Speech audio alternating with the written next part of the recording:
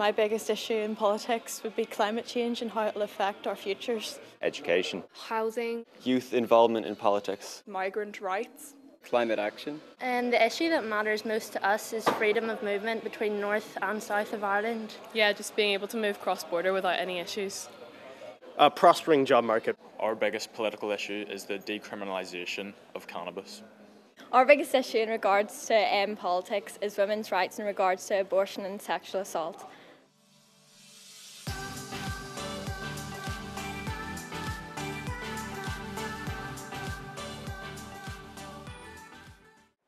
So, what really matters to this generation of voters across the island of Ireland? Brexit, the prospect for Irish unity, climate change, or something completely different? We've come to the Good Summit at Trinity College to let them put their questions to some of the decision makers. The Sinn Féin leader Mary Lou McDonald, Fine Gael TD Neale Richmond, and joining us from Westminster, the DUP leader, Sir Jeffrey Donaldson. I get to talk to these people fairly regularly, but this is your opportunity. Uh, my question's for Jeffrey, though.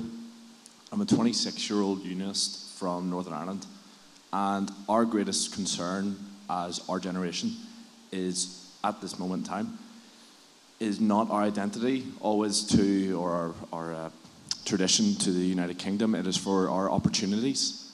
Is it not a social responsibility to make sure that it is something to guide the opportunities and actually stay and, and work for um, the young people in Northern Ireland and with the Irish government to create those cross border opportunities? I accept entirely your point that what really matters to young people and to their families as well is that they've a, a, decent future. I wouldn't be in politics if I didn't want to achieve those things, and it's not just the Irish government.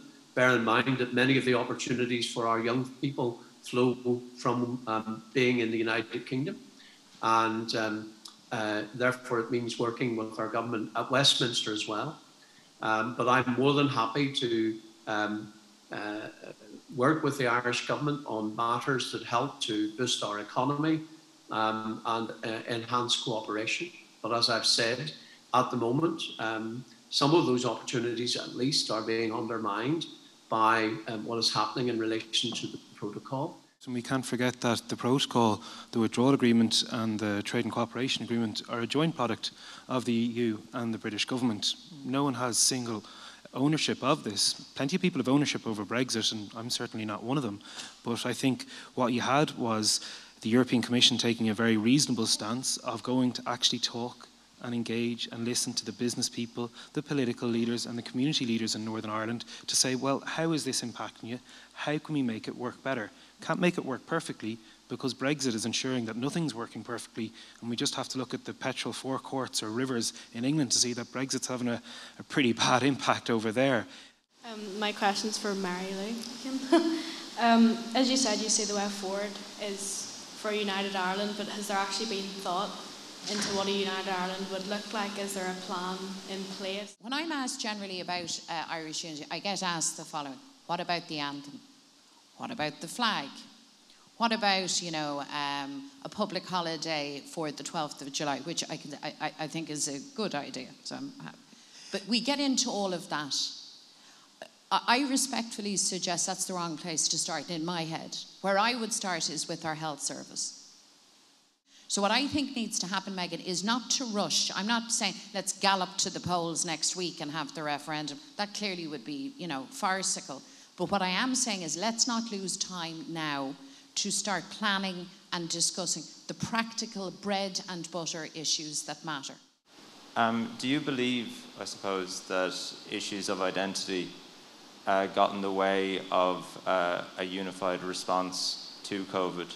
Uh, considering, obviously, that like science doesn't care about your identity, and Ireland is um, an epidemiological unit; it's a single entity um, in that sense. So do you believe that that is the case?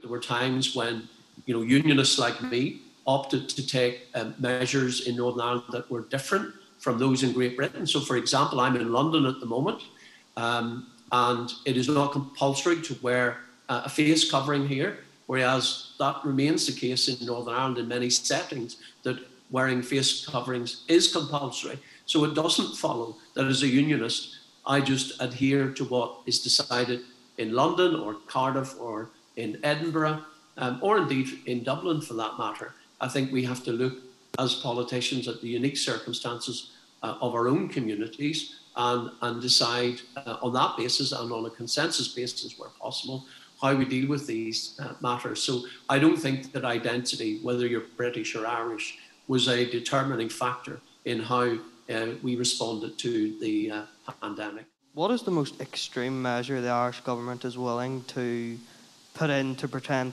prevent climate change? June, this is our one planet. This is, I'm 16. This is my future is going to be greatly affected by this. How how extreme is your actions going to be?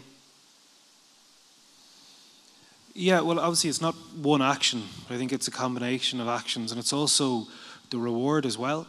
So I think a lot of people saying, well, we need to ban this, we need to remove that, and I fundamentally agree. So, agree. so one of the obvious ones is banning the tailpipe car, so you won't have be able to buy an unleaded, a new unleaded or diesel car by 2030 in the States. It's fairly serious, but it's also rewarding to making sure that we spread out public transport to make sure that's an option to provide more funding for cycle lanes in, in urban areas, but also to move our public transport and our public utility fleet over to renewables completely. So that's why we see hydrogen buses coming on stream in Dublin. I think that's the key thing, but it's also to look for the penalties for those who are breaking um, the guidelines, the commercial polluters, for want of a better word. And I think if you look at all in a combination, we can get there. And we also need to, very strong about this, we don't need to think climate measures are somehow always a punishment. There can be huge opportunity, huge opportunity for not only for people to have a better lifestyle, but also for people to make money and may have a very good uh, occupation on the back of it as well. The truth is that in the absence of alternatives, in the absence of public transport, in the absence of retrofitting things that actually reduce emissions, carbon taxes in and of themselves won't change behaviour. They become a cash cow for the state. They become merely a revenue raising uh, instrument. And I think that has been a real problem with the political discourse around the climate emergency.